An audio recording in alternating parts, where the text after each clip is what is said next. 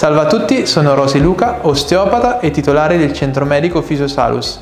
Oggi voglio raccontarvi del mio sogno che è diventato realtà. Fisiosalus nasce nel 2015 da una superficie di 60 metri quadri e contava tre fisioterapisti, Oggi la nostra equip è formata dai migliori medici, osteopati, fisioterapisti, kinesiologi che ci sono nel settore sanitario e conta 60 professionisti su una superficie di circa 800 metri quadri. Abbiamo creato tutto questo per migliorare la qualità della vita dei nostri pazienti e sviluppato soprattutto dei percorsi terapeutici che puntano alla prevenzione della salute.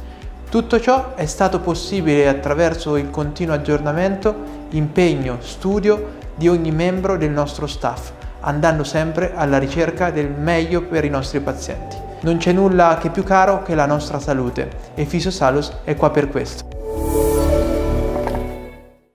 Regalo di Natale la Visnova Alba se lo fa in anticipo. 2 a 1 alla Grifo Sigillo e 3 punti di platino per la colza salvezza firmati da Bocciarelli e dal nuovo acquisto Malocai. 3 minuti e Ielpo impegna Farinelli con un sinistro che il portiere, ex della partita, blocca sicuro. Risponde la nuova Alba al sesto con questa conclusione di Segoloni respinta da un intervento provvidenziale di Pappafava ancora locali in avanti, ma la girata di Bocciarelli è facile preda di Brunetti. Al dodicesimo è Favaroni a raccogliere una corta respinta di Giacometti, palla deviata in corner. Sugli sviluppi dell'angolo è Lakdar a impegnare severamente Brunetti. Il portiere ospite è protagonista anche poco dopo nel disinnescare una conclusione potente di Favaroni. Rischia nuovamente il sigillo quando Lakdar mette un pallone insidioso dalla destra sul quale Segoloni non arriva di un niente. Ci va vicino anche Battaglini, il cui colpo di testa termina a lato. Il sigillo non resta a guardare, si rende pericoloso con una conclusione di Chiocci che va fuori non di molto. Al ventiseiesimo protesta la nuova Alba per questo intervento in area a danni di Favaroni, ma per Agostini di Terni non c'è nulla. Al trentaduesimo padroni di casa in vantaggio. La conclusione di Cerbini colpisce il palo e sulla respinta il più lesto è Bocciarelli che insacca il meritato 1-0. Al 39esimo locali vicino al raddoppio e sul colpo di testa di Battaglini ci vuole un Superman Brunetti a negare il gol. Termina dunque la prima frazione sul punteggio di 1-0. Le riprese di Leonardo Cesaroni ci portano al secondo tempo che si apre con questo colpo di testa di Cabraui che sorvola la taversa.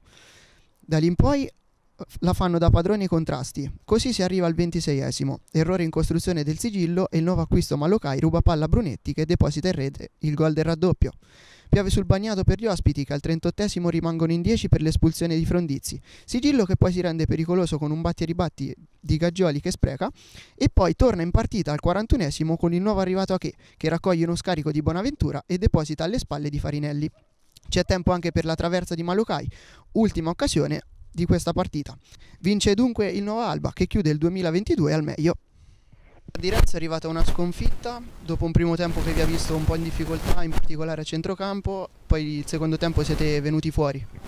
Sì, esatto la, la diagnosi. Il primo tempo abbiamo giocato male, obiettivamente mm, non, non avevamo le distanze giuste, facevamo fatica a ripartire, quindi loro hanno, ci hanno messo in difficoltà e sono andati immediatamente in vantaggio. Secondo tempo secondo me eh, siamo entrati con uno spirito diverso, cercavamo proprio di poterla pareggiare la partita e secondo me c'erano anche le condizioni. Espulsione così dove un centrocampista nostro entra e prende la palla netta e quindi ce l'ha ancora lui sui piedi, quindi essere ammonito per la seconda volta e espulso secondo me um, ripeto l'arbitro qualche errore l'ha fatto, però chiaramente non non lo prendo come una giustificazione, chiaramente poi vai in difficoltà, giochi in 10, devi recuperare e poi c'è anche da dire che il secondo gol è nato su un'ingenuità nostra e questo un po' ha peggiorato la situazione. Chiaramente è rimasto un po' lo spirito per cercare di recuperare, però è chiaro che oramai la partita l'avevamo compromessa. È un sigillo che comunque gira a 21 punti, come, come valuta questo girone d'andata? Ma io lo valuto secondo me in base a quelle che sono le nostre potenzialità.